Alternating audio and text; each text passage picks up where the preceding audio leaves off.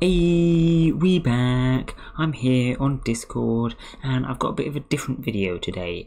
Now, I'm sure you're aware, I know a, little thing or two about bots. I've done quite a lot of bot videos in the past, um, but I have a reasonable experience on Discord in general, actually.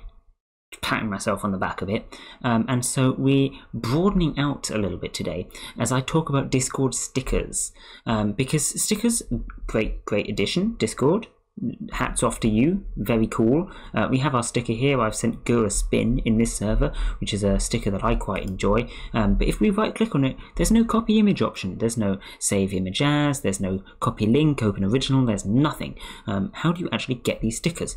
Um, because if you are the owner of a server or moderator of a server you might want to add a sticker onto a server.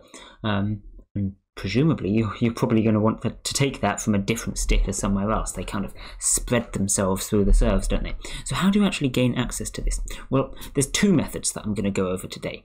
Um, the first one is the one that's probably the um, the easiest. Um, now, this is going to work for on the app, and it's also going to work for browser.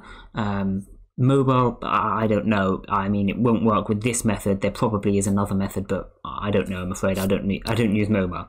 Um, but if you are on, on PC, what you can do is you can press Control Shift and I, which is going to open up here a nice little tab.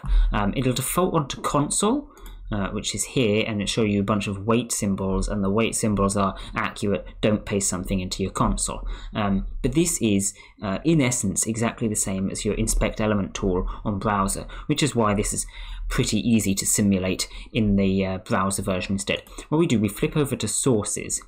Um, and we can find our, our Gura spin here. Now, this is uh, automatically loaded in because I got it ready for us. But if you want to find this, you want to go to mediadiscordapp.net. Under there, we have stickers, and under there, we have our stickers. Uh, so we have the, the Gura uh, just static image, and we also have Gura spinning. Uh, what I can do from here is I can uh, open you, uh, copy image URL. Um, I can plug that into Chrome um, and it's going to give me my nice Discord sticker that I can go and steal.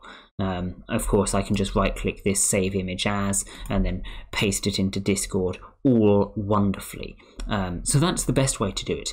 Um, another way to do it, which is uh, pretty similar if you want a, a slightly different method, um, we can go for your uh, good old inspect element and click on the thing.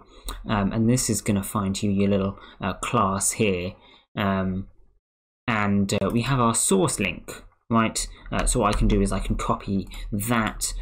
Once again, I can then paste that into Chrome, and as you can see, we have our Gura sticker. However, this one doesn't always work. As you can see in this instance, we've got the static Gura image. Sometimes it will work, sometimes it won't. It depends on the state of loading of this image here. So at the moment it's spinning, it's probably going to give the right one, uh, but if I click off, go onto a different channel or something, it's going to give me the static one um, which is not what we want. We want the uh, the moving one. So how do we go from this to the other one? Well, of course, you can simply wait for it to be the right one, keep copying and pasting, or we can go for our good old search Google for image.